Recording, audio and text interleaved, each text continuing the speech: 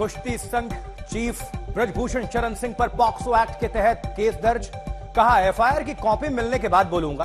खिलाड़ियों से मिलकर बोली प्रियंका, पद से हटाए सरकार।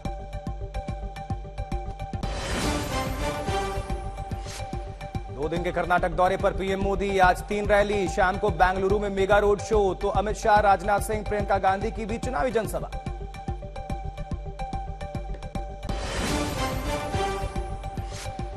कर्नाटक में बयानों की जंग चुनाव आयोग तक पहुँची खड़गे के जहरीले सांप वाले बयान पर भारतीय जनता पार्टी ने दर्ज की शिकायत, ने कांग्रेस ने अमित शाह के बयान को सामने रखा।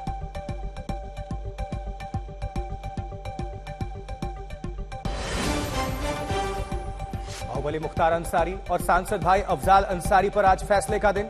यूपी की गाजीपुर अदालत 15 साल पुराने गैंगस्टर केस में सुनाएगी फैसला।